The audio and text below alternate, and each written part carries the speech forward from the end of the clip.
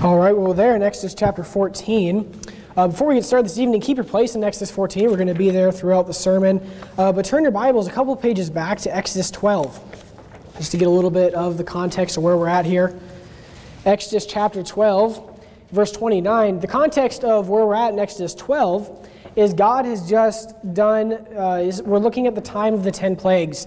And this right now is the final plague. God has done all these plagues through Moses and Pharaoh will not let the people go. Pharaoh will not let them go. He'll change his mind. He'll let them go, and then he'll change his mind. And finally, God tells Moses, You know what? That's it. I'm going to do one more. And here we have the 10th plague, in the, it, which is the death of the firstborn, where everybody who did not follow God's instructions for the Passover had their firstborn die, the firstborn of every animal and of everyone who did not follow God's instructions.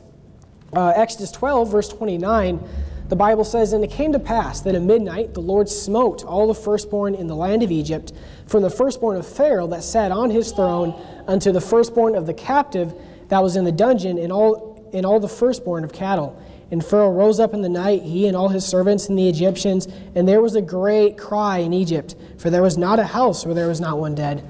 And he called for Moses and Aaron by night, and said, Rise up and get you forth from among my people, both ye and the children of Israel, and go Serve the Lord as ye have said. Also take your flocks and your herds as ye have said, and be gone, and bless me also.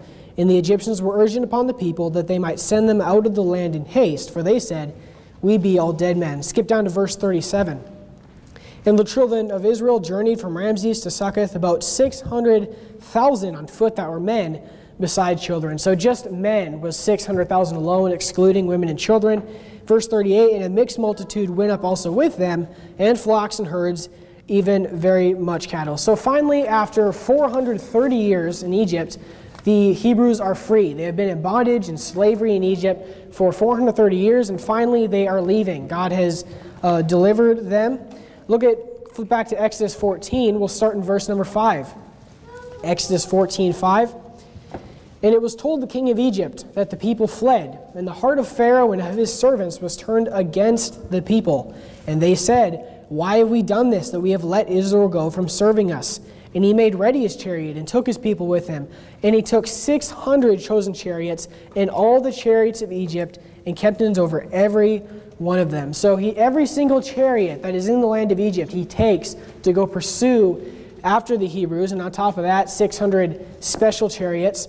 And we see why this happened. Verse 8 And the Lord hardened the heart of Pharaoh, king of Egypt, and he pursued after the children of Israel, and the children of Israel went out with an high hand. But the Egyptians pursued after them all the horses and chariots of Pharaoh, and his horsemen and his army, and overtook them encamping by the sea, beside Pihahiroth before Baal-zephon. And when Pharaoh drew nigh, the children of Israel lifted up their eyes, and behold, the Egyptians marched after them. And notice this, and they were sore afraid. And the children of Israel cried out unto the Lord. So they, they leave Egypt, and I'm sure, I think of this, I'm sure it was a spirit much of like when someone gets saved, how you're finally free from bondage and you're starting something new. And they look, and Pharaoh is coming after them, and a, a very large number of people, I would imagine. The title of the sermon this evening is The Light, the Darkness, and the God in Between. I'd like to just give you three statements or three lessons we can learn from this story in Exodus chapter 14. So, first tonight, don't let pressure from the world make you regret separating from it. Let's keep reading in verse number 11. And they said unto Moses, Because there were no graves in Egypt, hast thou taken us away to die in the wilderness? Wherefore hast thou dealt thus with us to carry us forth out of Egypt? Is this not the word that we did tell thee in Egypt, saying, Let us alone that we may serve the Egyptians? And, and don't miss their response here. And keep in mind, these are people who have seen God performing miracles that the world had not seen. God performing miracles and plagues upon Egypt that no one had ever seen before. Verse 12, it says, uh, notice what the response is For it had been better for us to serve the Egyptians than that we should die in the wilderness. So not only are they just afraid and scared, which can happen to any of us, but they actually regret even leaving Egypt to begin with. Their first hardship in their journey occurs, and they instantly regret their decision. Turn to Psalm 42. Psalm 42. If you're familiar with the, a lot of the major prophets or even the minor prophets in the Bible, uh, Egypt is often a picture of the world. It's a picture of the unsaved world, the, word, the world without God. And like I said, the first lesson tonight is don't let pressure from the world make you regret separating from it. That's exactly what the Hebrews did here. There in Psalm 42, let's keep, start reading in verse 3. The Bible says this My tears have been my meat day and night, while they continually say unto me, Where is thy God? Verse 5 Why art thou cast down, O my soul? And why art thou disquieted in me? Hope thou in God, for I shall yet praise him for the help of his countenance. So the author here is obviously being pressured by the world. Obviously, there's people around him who are mocking him, saying, Where is thy God? And the response is not regret. The response is not, I shouldn't have separated, I shouldn't have been so different from the world. The response is, I shall yet praise him. And this hope and this faith that continues. You're there in Psalm 42, just flip a couple pages over to Psalm 44. Psalm 44. We'll start reading in verse number 10, Psalm 44 10. Thou makest us to turn back from the enemy, and they which hate us spoil for themselves. Thou hast given us like sheep appointed for meat, and hast scattered us among the heathen. Thou sellest thy people for naught, and dost not increase thy wealth by their price. So, the, the theme of this psalm here is someone being attacked by the world and pressured by the world. Uh, and we're notice the response here. We'll keep reading. Verse 13, Thou makest a reproach to our neighbors, a scorn and a derision to them that are round about us. Thou makest us a byword among the heathen, a shaking of the head among the people. Look at verse 16. For the voice of him that reproacheth and blasphemeth by reason of the enemy and avenger. So there's obviously a lot of haters of God, a lot of people from the world that are pressuring whoever is writing this psalm and it, it's uh, being reproached by these people. But notice the response from the author here. Verse 17 All this is come upon us, yet have we not forgotten thee. Neither have we dealt falsely in thy covenant. And here we have verse 18. Verse 18 is one of my favorite verses in the Bible. It says, Our heart is not turned back, neither have our steps declined from thy way. And especially as Christians in a church like this, and a church that believes in separation and separating from the world and being different, hard times and persecution, they're going to come whether it's from unsaved family or people you work with or just people around you, it, it, the more separated you are and the more you are doing for God, the more pressure and attacks that will come from the world. Turn to 1 Samuel 14. While you're turning into 1 Samuel 14, I want to read to you 2 Timothy 4.16, where the Apostle Paul is kind of, uh, towards the end of his life, just recapping his life a little bit and talking about different people and those who did him right and those who did him wrong.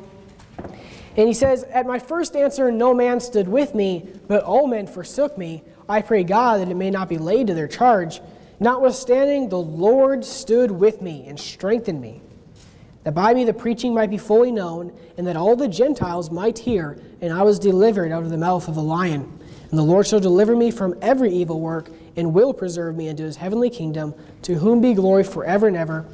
Amen. I think if there's anyone who spent their whole life being attacked by the world viciously, it was the Apostle Paul. His whole life, from the moment he gets saved to the end of his life, people are coming after him and trying to kill him and trying to stop what he's trying to do. And yet, he doesn't regret it. He's not at the end of his life regretting all the, the attacks that he spent his life going through. He is at the end of his life here and he says, But you know what? God stood with me.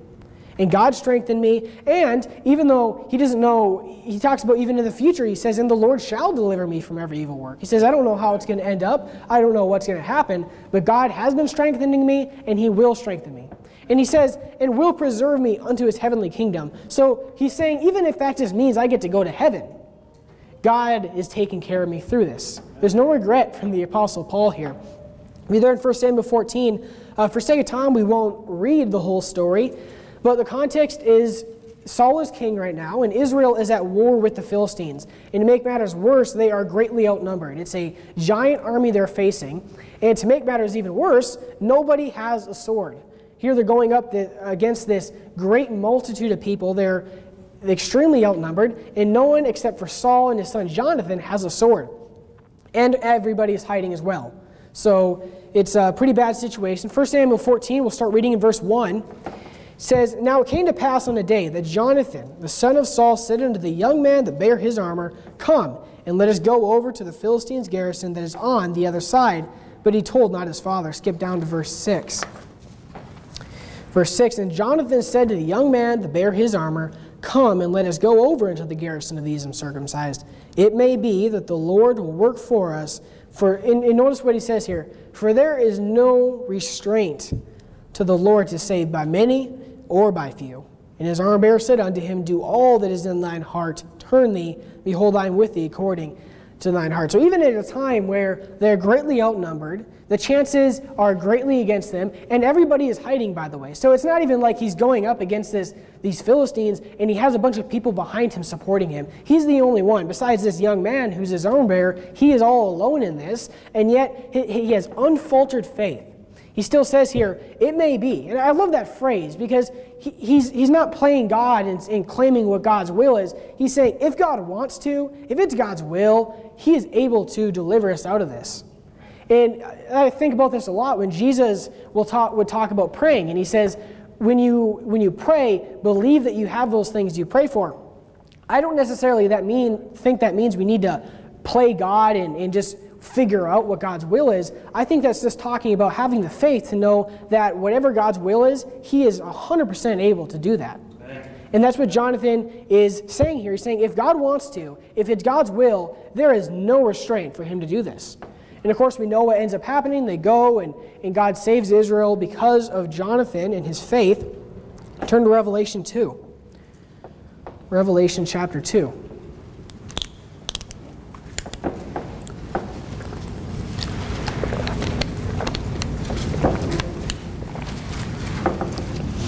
Not only does Jonathan not regret uh, his position in separating from the world, but he knows that God is able to deliver him. You're there in Revelation 2.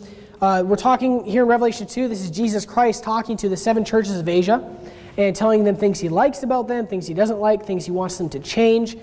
Verse number 1, Revelation 2 1 says this Unto the angel of the church of Ephesus write, These things saith he that holdeth the seven stars in his right hand, who walketh in the midst of the seven golden candlesticks.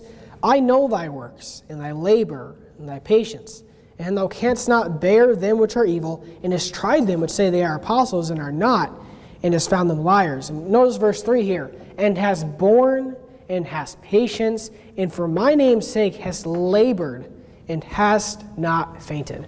Here he's acknowledging that the church of Ephesus is laboring a lot and they're, they're going through a lot and they're, they're having to bear a lot, but he, he commends them for not fainting, for sticking through it even with the pressure that comes. I mean, what a God that Jesus could say this about this church.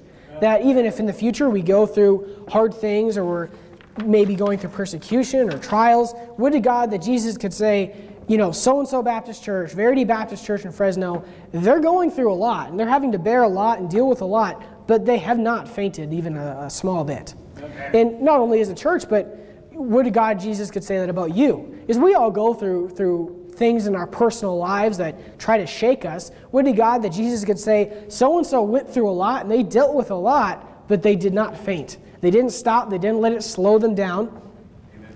You're there in Revelation 2, look at verse 8. Here we're talking about the church in Smyrna. Revelation 2.8, the Bible says, And unto the angel of the church in Smyrna write, These things saith the first and the last, which was dead and is alive. I know thy works, and tribulation, and poverty, but thou art rich. And I know the blasphemy of them which, is, which say they are Jews and are not, but are the synagogue of Satan. Fear none of those things which thou shalt suffer. Behold, the devil shall cast some of you into prison that ye may be tried, and he shall have tribulation ten days. Be thou faithful unto death, and I will give thee a crown of life. Here Jesus is acknowledging that they're going through a lot. He says, I know it's hard. I know you're going there's a lot of work. I know there's a lot of tribulation. I know you're having to fight different people who are trying to stop you. I know you've gone through a lot, but be faithful. Stay faithful. Be faithful even unto death, he says. Because what's the key to not quitting on God? What's the key to not being like the Hebrews and regretting leaving the world? What's the key to not quitting when the world attacks? It's being faithful. The word faithful means loyal, constant, and steadfast. For example, if you were to talk about somebody who was who worked for a company and say so and so has been a loyal employee for many years, that means that he's been there for a long time. That means he's a loyal employee. He's he's a faithful employee. And it's the same way with God. If you're a faithful Christian, you don't quit on God. You look at verse 13, Revelation 2:13. Jesus goes on to say, I know thy works where, and where thou dwellest, even where Satan's seat is, and thou holdest fast my name, and hast not denied my faith, even in those days where Antipas, my faithful martyr, who is slain among you, where Satan dwelleth. Why was Antipas called faithful? It's because even until the point where he was martyred, even until the point where he died for the cause of Christ, he did not have that regret. He held fast the name of Jesus Christ even unto his death. He was faithful unto the very end. Turn to Psalm 31. Psalm chapter 31. While you're turning there, I'll read you Psalm 12:1 that says, Help, Lord, for the godly man ceaseth, for the faithful fail from among the children of men. Not just in church life and among Christians, but just in general in our world today, there's a shortage of faithful people in every aspect of life, whether it's it's uh, just pe- maybe people who are your friend or people who uh, you work with. Nobody is faithful anymore. It's a, it's a major, major character flaw of our society today. Nobody is faithful, and especially in church life. In among Christians, everybody sees the Egyptians and wants to go back. They still regret uh, separating. There's a, there's a shortage of faithful people. You're there in Psalm 31 the Bible says this, Oh, love the Lord, verse 23, Psalm 31 23. Oh, love the Lord, all ye his saints, for the Lord preserveth the faithful, and plentifully rewardeth the proud doer.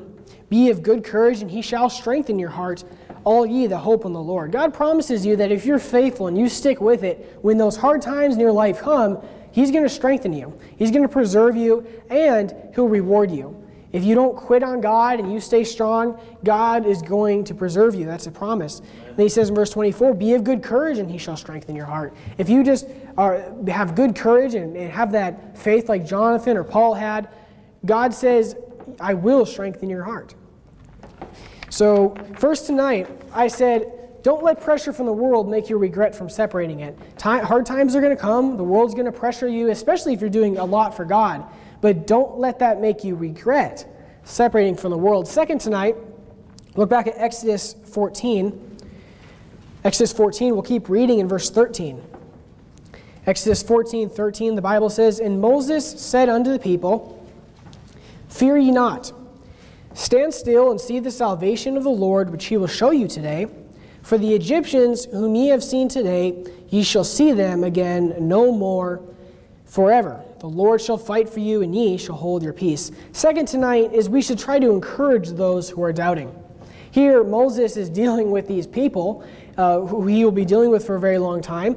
And when they're regretting and they're doubting and, and they're, they're afraid, he doesn't get mad or upset at them. He's patient and he, he says, Fear not. Don't be afraid. God's going to save you, God's going to take care of you. Turn to Isaiah 35.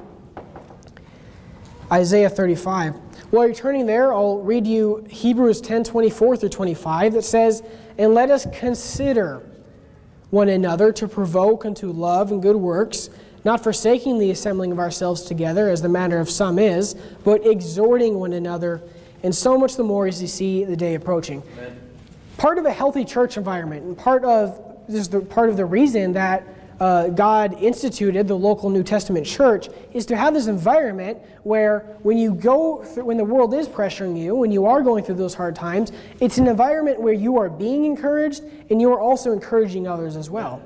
It's a it's a mutual um, relationship with your brothers and sisters in Christ. You're there in Isaiah 35. Look at verse 3. The Bible says, "Strengthen ye the weak hands and confirm the feeble knees." Say, to, is this in as we read verse 4, think about what Moses said to the Hebrews and how similar this is. Say to them that are of a fearful heart, Be strong, fear not. Behold, your God will come with vengeance, even God with the recompense. He will come and save you. Because people, people are going to doubt. People are going to go through hard times. You are going to go through hard times. People are going to get discouraged. And that's why you need a church like this. That's why people who, who are not part of a church they, they don't last very long because you only can go so long by yourself. You're going to quit. You're going to you're going to give up on it when there's nobody else to encourage you and strengthen you. and help you live the Christian life as well. Uh, turn to Ezekiel chapter 34. So, especially in a church like this, where, where it's a bunch of believers trying to, to fulfill the Great Commission, try to focus on, on strengthening those weak hands and encouraging those who are going through hard times, because we all do eventually. Ezekiel 34. It maybe not just discourage people either, but maybe people who are starting to uh, slip out of church or, or, or give up on God. Try to encourage those people. Because a lot, a lot, of times people just they just need encouragement. They just need someone to uh, be there for them. Ezekiel 34 verse 4 the bible says the diseased have ye not strengthened neither have ye healed that which was sick neither have ye bound up that which is broken neither have ye brought again that which is driven away neither have ye sought that which is lost but with force and cruelty have you ruled them so this verse is mainly talking about spiritual leaders and pastors however I, you don't have to turn there, but Proverbs 27, 5 through 6 says, Open rebuke is better than secret love. Faithful are the wounds of a friend, but the kisses of an enemy are deceitful. I, I do believe that there is a sort of a responsibility that comes along with being somebody's friend. I believe you're a pretty rotten friend if, if you claim to be someone's friend and they start getting discouraged and to the point where they maybe quit on church or and just drop out of the Christian life, and you never help them. You never encourage them, and you were never there for them. Turn to 1 Samuel 23.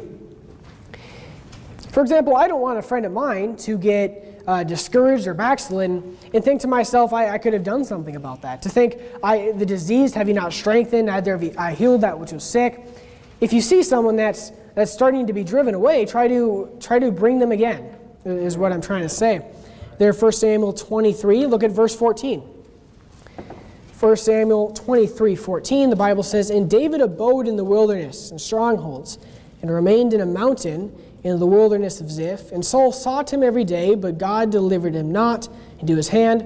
And David saw that Saul was come out to seek his life, and David was in the wilderness of Ziph in a wood. So here in 1 Samuel 23, David is running from Saul. Saul is trying to kill David, Saul is after David. And notice verse 16. And Jonathan, remember Jonathan? Jonathan was also a, a great friend of David's. Uh, verse 16 And Jonathan, Saul's son, arose and went to David into the wood and strengthened his hand in God.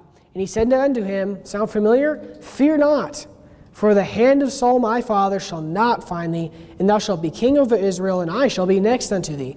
And that also Saul my father knoweth. And they two made a covenant before the Lord, and David abode in the wood, and Jonathan went to his house. So even at a time where David is going through something that really doesn't affect Jonathan, Jonathan is really unaffected by this. No one's trying to kill Jonathan, no one's after Jonathan. However, even though it really doesn't concern him or it's not affecting him, I'll say, he, he makes it a point to go to his friend who is going through that and, and spiritually strengthen him. To, it says he strengthened his hand in God. He, he encourages him, even though it really wasn't even something that he was going through himself. Turn to Acts 14.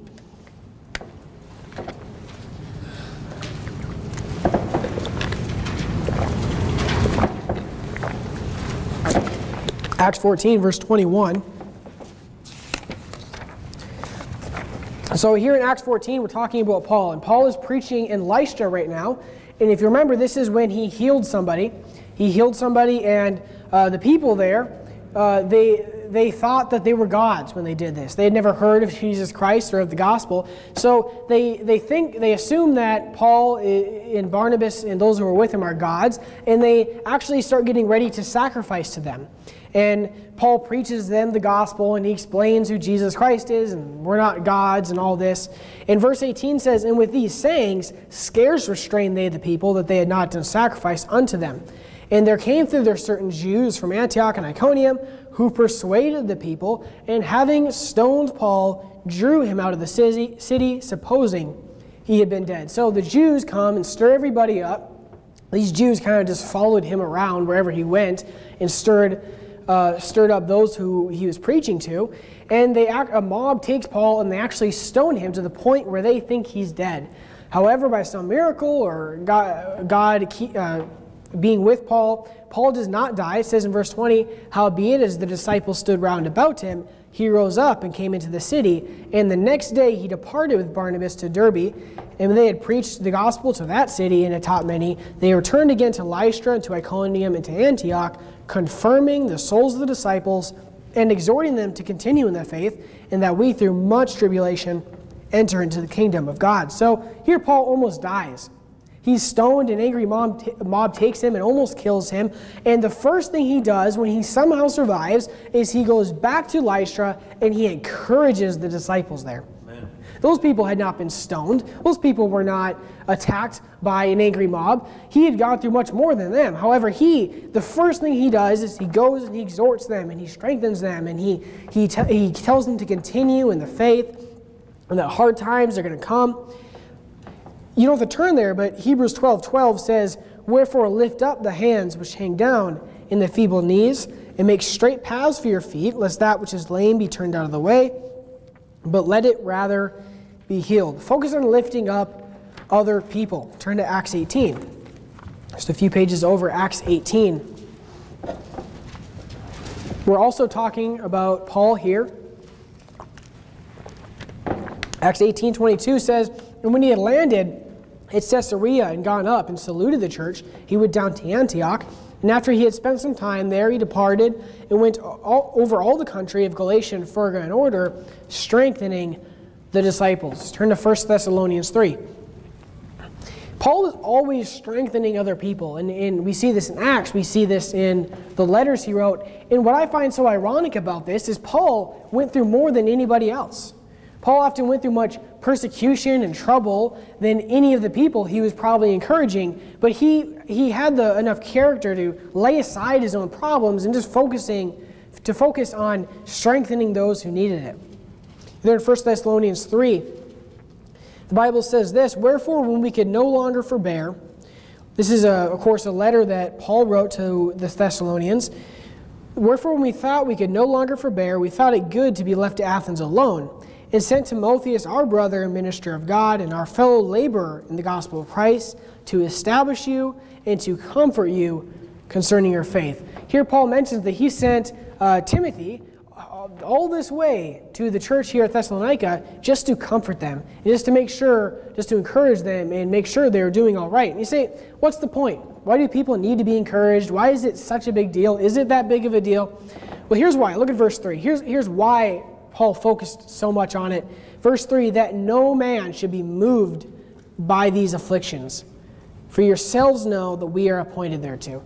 Again, this is why you need to be in a church because if, if you are not being, if there's no one to encourage you and there's no one for you to encourage, you're going to be moved by these afflictions.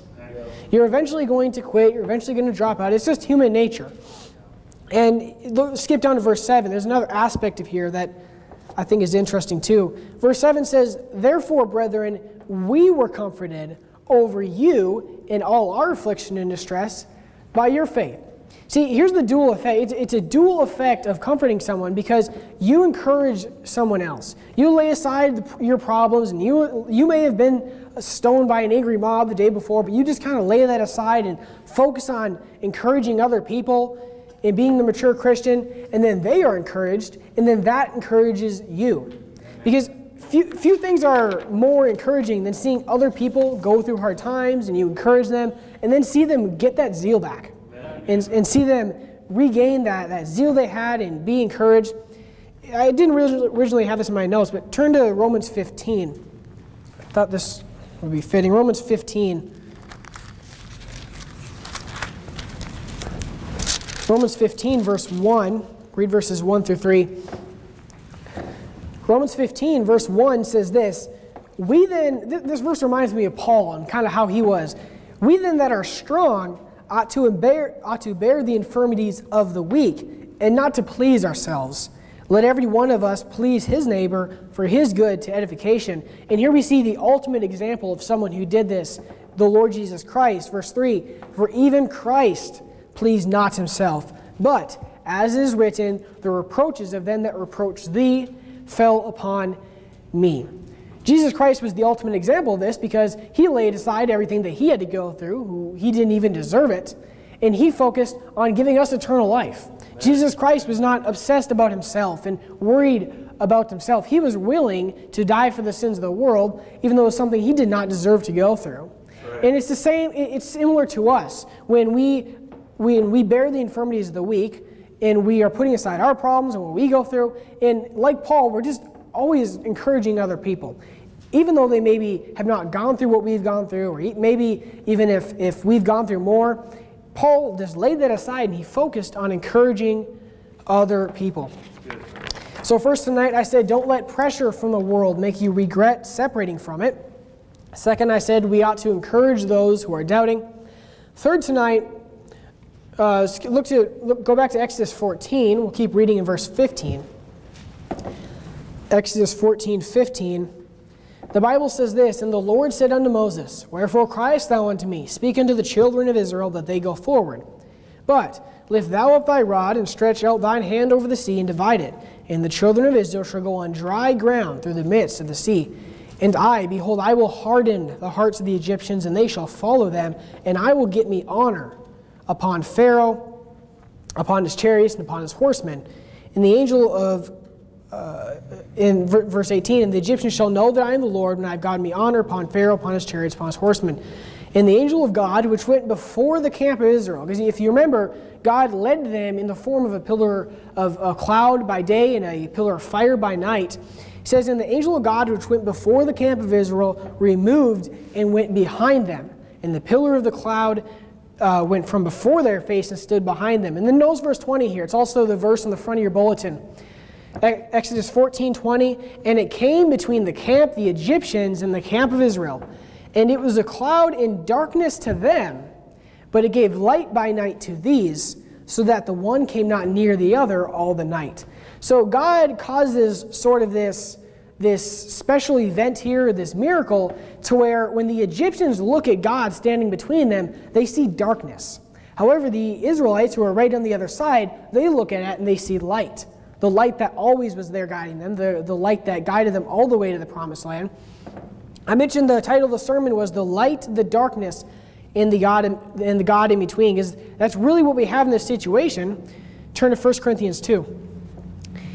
And even so, in the same way as when the, the world or the Egyptians looked at God and they saw darkness, and when the Israelites looked at it and they saw light, in the same way, even today, the Word of God it's a light to us, but it's darkness to the world.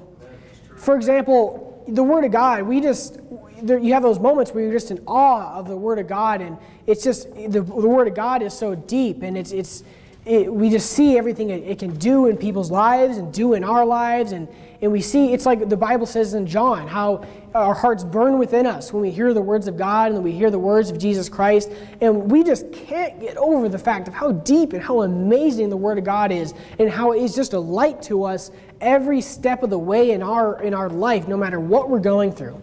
Amen. And yet, people maybe at work or unsaved family, they look at the same Word of God and it's just pitch black to them. They don't get it at all. I, I was talking a while ago with, uh, with someone I know who's unfortunately not saved.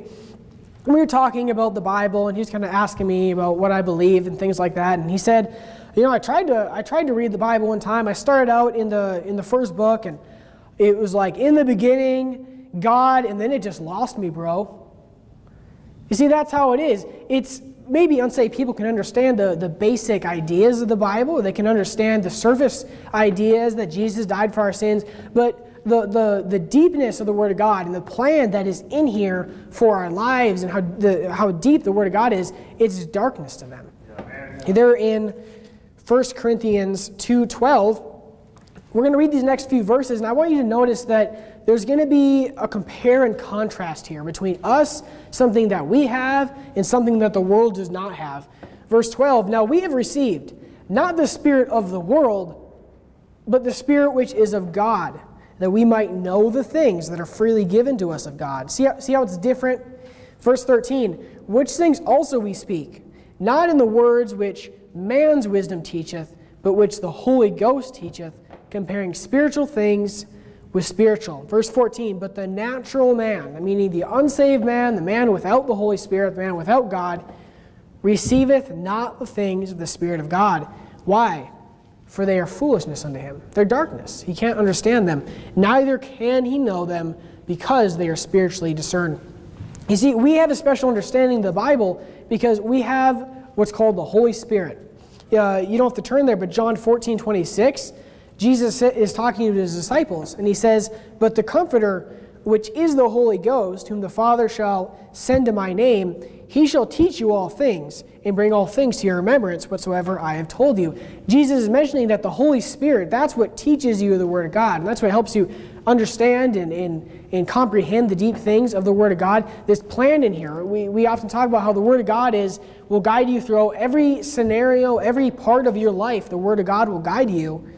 And here we see that that's the Holy Ghost that does that. That is why it, I think about it like this. I think about it, the world, because the world has a conscience, right? The, the world has that conscience, that ba- basic understanding of right and wrong.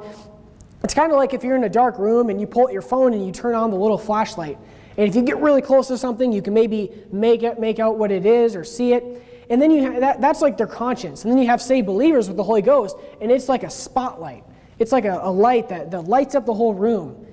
It's like the conscience is the light version of the Holy Ghost. And the reason that we can understand the Word of God, the reason that it's a light to us and a darkness to the world, is we have the Holy Ghost. We have the Holy Ghost that allows us to understand it, but the world does not have that. That's why they are in darkness. That's why they do not understand.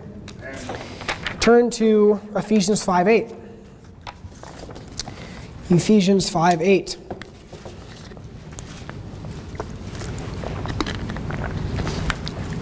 And a lot of people kind of mess this up today. A lot of modern Christianity messes this up today because they teach salvation is like sort of this process, sort of this gradient where you come from darkness and then it gets a little lighter into light. You go from not being saved to being more possibly saved. And it's just this big confusing thing, whereas the, according to the Bible, you're either saved or you're not. You're either in darkness or you're in the light. There in Ephesians 5 8, the Bible says this For ye were sometimes darkness, but now are ye light in the Lord. Walk as children of light. You see, when you get saved, you, you it's like when the Bible says you, you're passing from death into life. You're passing from one side to the other. You're passing from the darkness to the light. The, the hymn we're going to sing after uh, service tonight is hymn number 262. Take all your hymnals and look at it. I, I want to point out the words Hymn number 262.